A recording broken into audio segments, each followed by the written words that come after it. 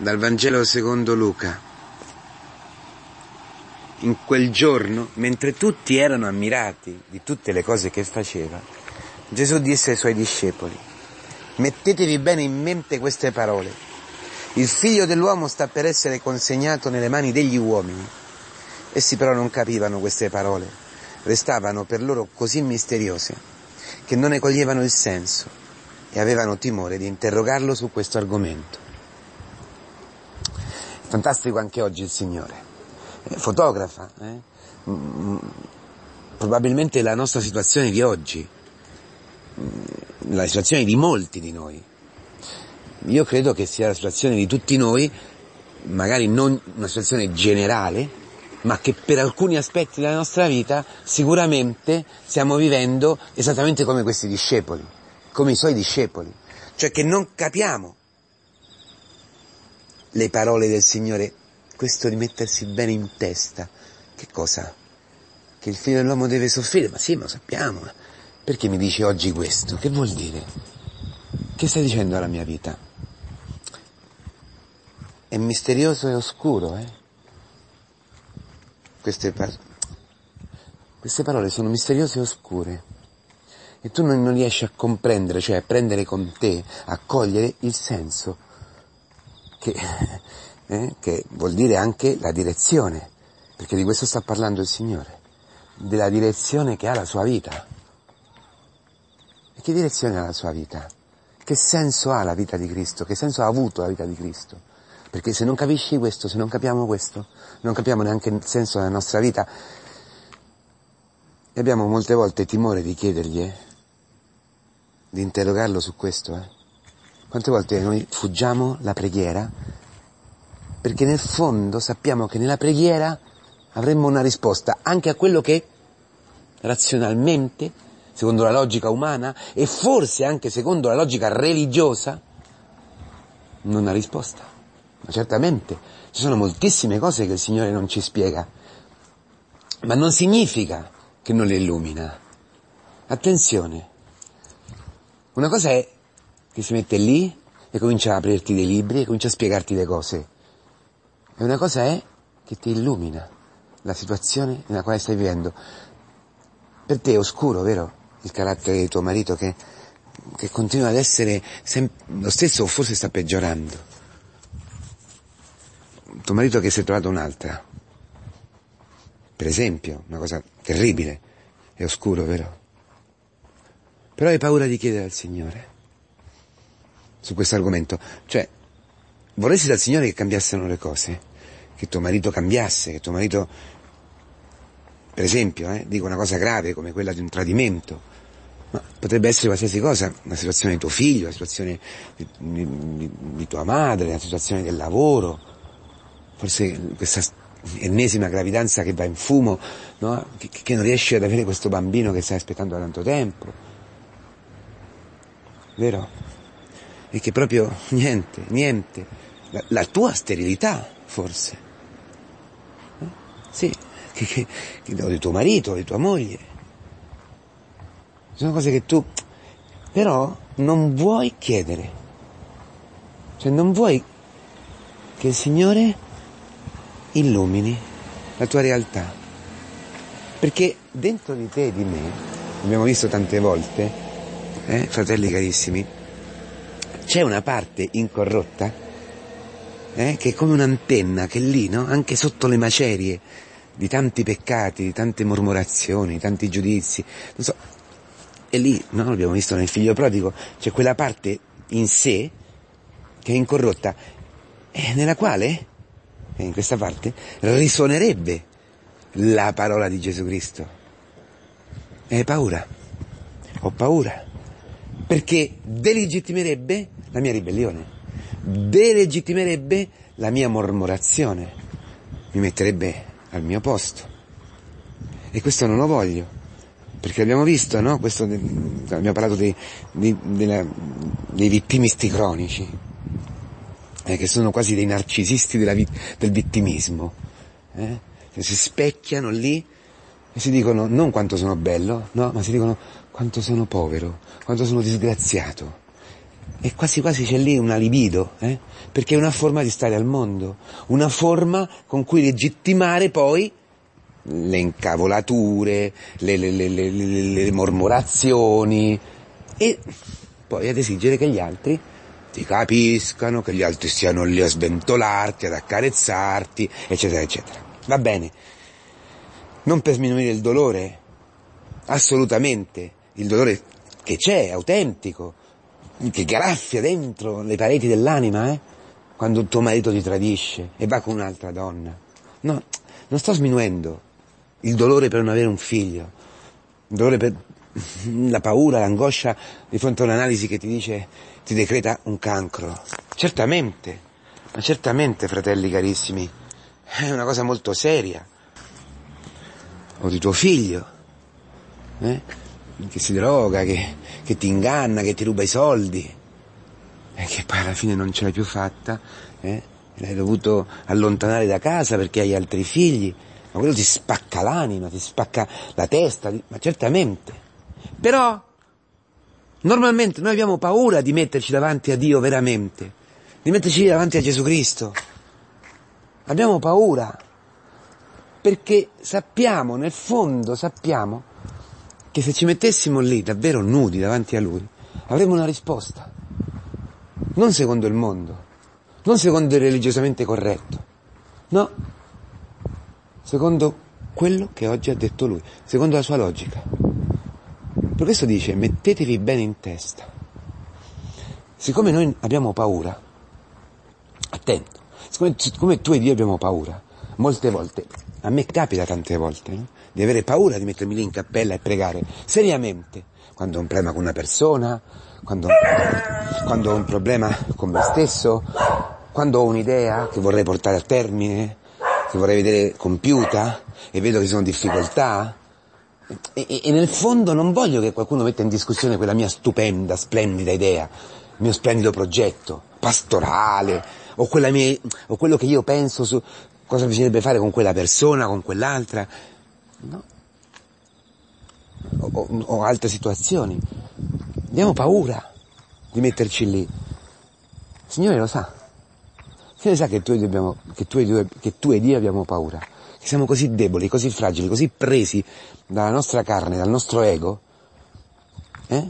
che, che, questo ego ci fa da schermo tra noi e Lui. Hm? Perché? Perché si vuole difendere, perché l'ego non vuole morire, perché l'ego la superbia, la parte superba di noi, la parte orgogliosa, non vuole lasciare il campo all'umiltà, alla verità, no? Eh, perché il demonio non ci vuole lasciare liberi, non vuole eh, lasciare il suo, il suo bottino. Allora, siccome il Signore lo sa, e sa anche che abbiamo paura, vera, autentica, che ci fa paura la morte, che ci fa paura questo, questo, questo, questo sentir parlare di violenza, di sofferenza, di soprusi, di ingiustizie, non le vogliamo, non le vogliamo. Ma come abbiamo fatto, una, abbiamo fatto una rivoluzione francese, la facciamo tutti i giorni, al posto di lavoro, a scuola, con, con le persone che sono accanto a noi, facciamo costantemente, tiriamo fuori quelle ghigliottine per tagliare la testa a, ai re, eh? che, che, che ci distruggono la vita, con le loro imposizioni, con le loro idee, con le loro politiche, ma sto parlando del marito, della moglie, degli altri, eh, non sto parlando chissà di chi. E, e il Signore viene a parlarci che viene, sarà consegnato, cioè sarà sputato, flagellato, eh? distrutto, insultato, nullificato. Tutto questo? Sì, fratello, tutto questo ti fa paura e mi fa paura. Bene, il Signore sa tutto questo, sa, sa che siamo così. Per questo ci dice oggi una cosa fantastica. Mettiti bene in testa, o meglio, mettetevi bene in testa. La traduzione letterale dice mettiti bene nelle orecchie. E sapete cosa vuol dire questo? Parla del servo di Yahweh, fratelli miei cari. Dice così, il servo, il canto del servo di Isaia. Il Signore mi ha dato una lingua da discepolo, perché, attenzione, eh,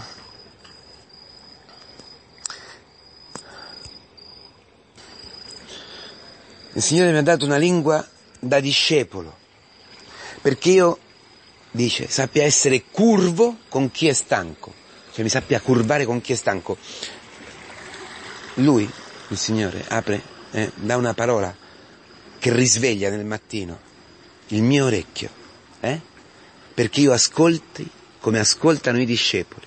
Il Signore Dio mi ha aperto l'orecchio, mi ha forato l'orecchio e io non ho, aperto, non ho opposto resistenza, non mi sono tirato indietro.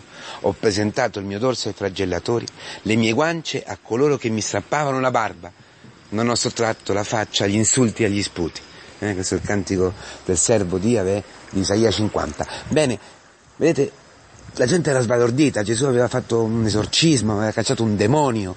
Gesù, e poi c'era stata la trasfigurazione, eccetera la gente era sbalordita, come tu ed io siamo sbalorditi tante volte. E allora vorremmo vedere sempre miracoli di questo tipo, vorremmo vedere sempre esiti eh, di successo.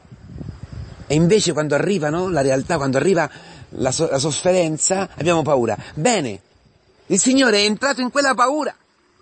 Il Signore si è fatto carne, si è fatto servo della tua paura. Si è fatto servo di Dio, servo di Yahweh, per essere servo tuo, per mettersi oggi e sempre, ogni giorno, nella Chiesa, ai tuoi piedi, a lavarti i piedi. Che cosa vuol dire? Per fare di te un discepolo, perché tu possa camminare dietro a Lui. Ti lava i piedi perché tu possa metterli sulle sue stesse orme, perché Lui ha preso una carne come la tua. Lui nella, nel, nel Getsemani ha provato tutte le tue angosce, fratello mio. L'anima mia è straziata, dice nel Vangelo di Giovanni. E che cosa devo fare? L'angoscia mi sta soffocando. E che devo dire? Padre, padre salvami da quest'ora. Ma no che non lo dice questo il Signore, il contrario. Non lo dice, entra lì, entra nella volontà del Padre. Allora dice il Salmo 40, che la lettera agli ebrei applica a Cristo, dice quando Cristo entra nel mondo dice questo, proprio quella parola del Salmo 40. Non hai voluto vittima per la colpa, un corpo mi hai preparato, mi hai perforato l'orecchio, come si faceva, come faceva un padrone con il proprio schiavo, e gli forava l'orecchio eh, lo marchiava, era mio, un'appartenenza. Allora Dio ha fatto questo con il suo figlio, per mostrare l'appartenenza totale di quella carne uguale alla tua, certo il peccato, che va a prendere le conseguenze dei tuoi peccati, che va a entrare nella tua, paura, nella tua paura, nella tua angoscia, che per, per perforare questa parete di paura, questa parete di angoscia, questa paura, scusate, questa parete, questa intercapegine di orgoglio che ci impedisce chiedere al Signore che sta succedendo. Lui ha preso la tua carne, si è fatto seppellire, è morto e si è fatto seppellire lì dentro, ma ha distrutto. Dio lo ha risuscitato, cioè ha distrutto, ha aperto un varco in mezzo a questa paura, in mezzo a questa angoscia, che lui stesso ha vissuto, che lui ha assunto.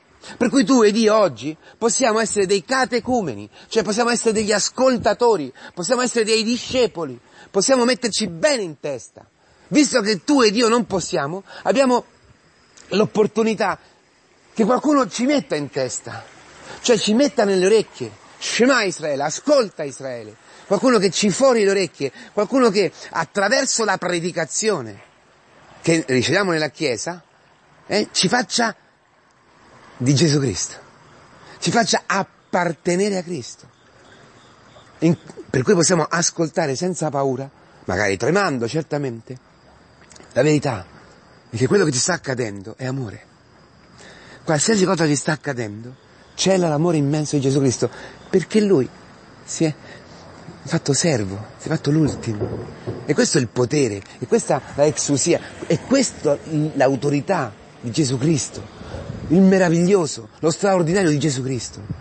E che è entrato là dove nessuno può entrare, nell'ultimo posto, nel fango più melmoso, per strapparti dalla morte Attento, ascolta, lascia che la Chiesa predichi questa parola, perché quella parola ti eh, perforerà l'orecchio e metterà dentro di te la verità, metterà dentro di te l'amore infinito che c'ha Gesù Cristo per te, cioè, come dire, imprimerà dentro di te, nel tuo, nel tuo cuore, nella tua mente, nella tua carne, eh, questo che parla dello Shema, metterà dentro di te l'esperienza, la certezza inalienabile, la, la certezza che nessuno potrà più rubarti del suo amore per te, che si è manifestato proprio nella morte e la morte di croce, in quello che è più assurdo, in quello che fa più ribrezzo, quello di cui tutti abbiamo paura e che stiamo sfuggendo. Per questo, per questo, lui ti illumina. Lui può illuminarti ogni giorno, nella parola, nella chiesa, attraverso i sacramenti. Ti potrà illuminare che quello che sta, sta accadendo con tuo figlio, che è il tradimento di tuo marito, nasconde un amore infinito. Nasconde l'amore di Gesù Cristo perché se lì tu sei crocifissa, con lui, stai partecipando del suo amore. Lui lì si sta donando a te, lui si sta dando a te completamente. Questo lo puoi vivere nella Chiesa, lo puoi vivere nei sacramenti, lo puoi mangiare, lo puoi ehm, ricevere nel perdono dei peccati, lo puoi vivere costantemente ascoltando questa parola che perfora momento dopo momento come una goccia d'acqua sul ferro, la predicazione, la parola. Eh? Ti perfora e ti fa di Cristo, ti fa appartenere a Lui e ti fa partecipare con Lui dello stesso mistero. Per cui quello che tu vivi è quello che ha vissuto Cristo. Per cui sei un discepolo, con Lui, Lui discepolo del Padre. Lui che si è abbandonato alla volontà del Padre, non la mia ma la tua volontà. Il suo sì che distrugge il tuo no. Il suo sì che distrugge la tua paura. Le sue lacrime, il suo sudore di sangue per raccogliere il tuo sudore, la tua angoscia, perché tutto possa passare attraverso questa porta stretta, con Lui, e tu possa, mentre vivi con Lui il mistero della Pasqua, mentre vivi con Lui la morte e la risurrezione nella, nella storia che stai vivendo, possa tu avere la risposta che cerchi e della quale hai paura. Tutto è amore, tutto è grazia, tutto sta in un disegno meraviglioso, che in cielo potremo vedere con pienezza, ma che qui possiamo cominciare a pregustare, nella misura in cui siamo uniti a Lui, nella misura in cui ci lasciamo perforare questo orecchio, lasciamo che entri dentro di noi la Sua parola che contiene l'amore che va a compiere in noi trasformandoci in servi nel servo per amare quel figlio, per amarlo così com'è, per amare tuo marito, per rimanere sua sposa anche se ti tradisce. Dice un segreto, c'è qualcosa di meraviglioso che è oscuro per il mondo, che è oscuro per chi non conosce la risurrezione, come ancora i discepoli non conoscevano, perché stavano andando verso il mistero pasquale, ma erano ancora, diciamo, nella prima parte. Ma noi no, noi possiamo passare da, in, attraverso la croce per entrare nella risurrezione, attraverso il sepolcro per entrare nella vita eterna e non avere più paura. E, è, e tutto è chiaro, tutto diventa chiaro, anche l'oscurità più terribile, quella che viviamo, di non sentire nulla, dell'aridità, della paura, tutto, tutto diventa chiaro come l'alba di Pasqua, perché su tutto c'è questa rugiada di amore e di misericordia che tu sperimenti. Buon sabato, buona giornata.